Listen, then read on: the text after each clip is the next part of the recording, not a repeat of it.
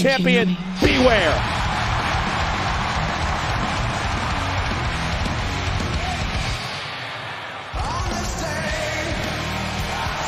Early retirement plans? Edge say, I don't think so.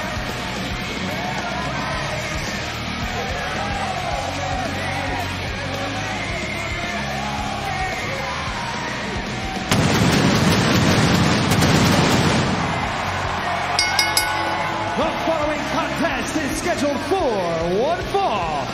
Introducing first, WWE Hall of Famer, the Rated R uh, Superstar Edge! The bombastic Grayson Waller ran his mouth, and now we'll see if he can back it up.